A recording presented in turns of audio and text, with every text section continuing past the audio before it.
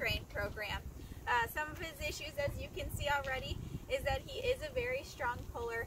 Mom is actually unable to walk him because he pulls her so much. Um, his other issues include jumping. He also just kind of does what he wants, so he doesn't have many basic obedience skills. Uh, but I'll go ahead and show you guys what he does know, and then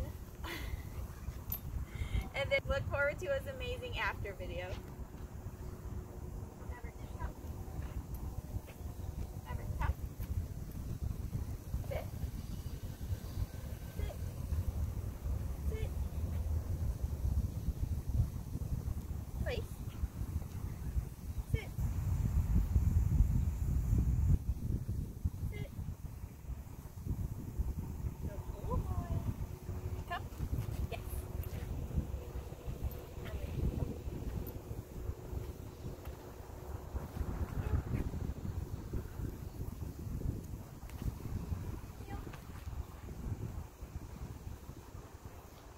that pulling is definitely something we're going to work on, but like I said, look